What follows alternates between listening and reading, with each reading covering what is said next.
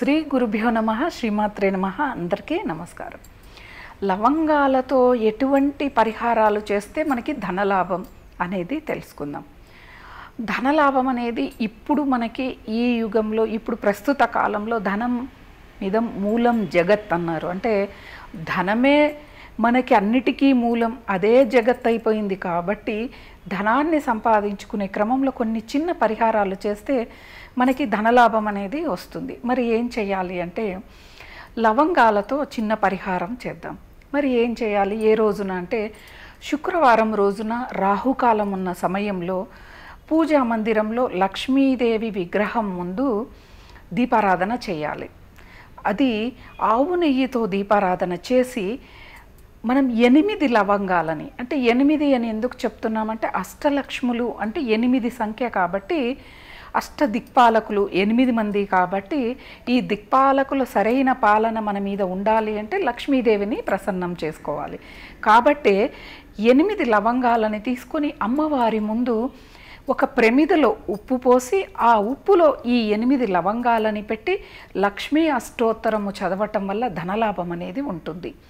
ఈ పరిహారము ఎవరైనా దుకాణాల్లో అంటే షాపుల్లో బిజినెస్ చేస్తారు వ్యాపారం చేసే దగ్గర కూడా వాళ్ళు ఈ విధంగా పెట్టడం వల్ల కూడా వాళ్ళకి ధనలాభం అనేది చేకూరుతుంది.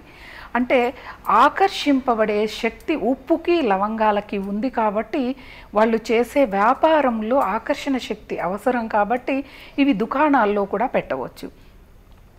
మరి ఇంట్లో పెట్టడం వల్ల అంటే దుకాణాల వరకే పరిమితి కాకుండా ధనలాభం అనేది ఇంటికి కూడా ప్రవాహం రావాలి కాబట్టి ఇంట్లో కూడా మహిళలు శుక్రవారం రోజున రాహుకాల సమయంలో ఈ చిన్న పరిహారాన్ని చేయండి.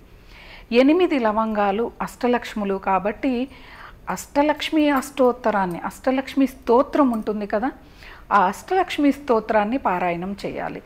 మరి ఎన్నిసార్లు చేయాలి అంటే మూడు సార్లు పారాయణం చేయాలి. అష్టలక్ష్మి స్తోత్రం చాలా చిన్నగా ఉంటుంది కాబట్టి ఇబ్బంది లేకుండా మూడు సార్లని చేయవచ్చు.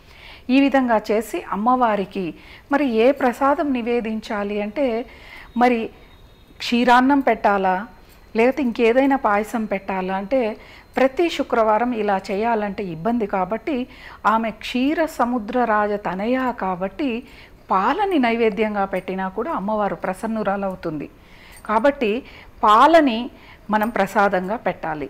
మరి ఇలా ఎన్ని శుక్రవారాలు చేయాలంటే ఎనిమిది శుక్రవారాలు చేయాలి.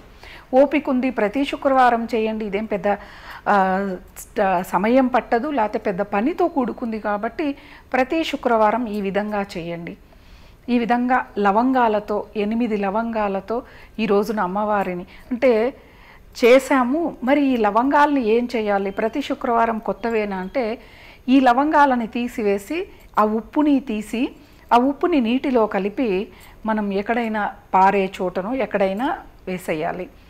అలాగే మరి లవంగాల్ని ఏం చేయాలి అంటే మీరు మాంసాహారంలో కాకుండా శాకాహారంలో ఆహారంలో ఉపయోగించుకోవచ్చు.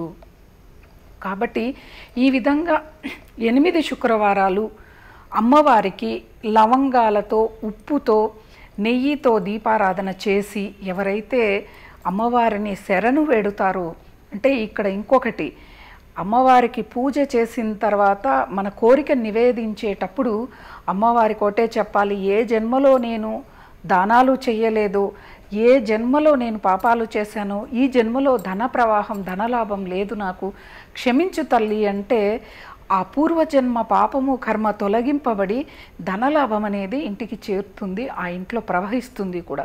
కాబట్టి ప్రతి ఒక్కరూ ఈ చిన్న పరిహారాన్ని చేసుకుని ఆ ధనలాభం పొందాలని ప్రతి ఒక్కరూ కూడా వారి వారి కోరికల్ని తీర్చుకోవాలని కోరుకుంటూ స్వస్తి.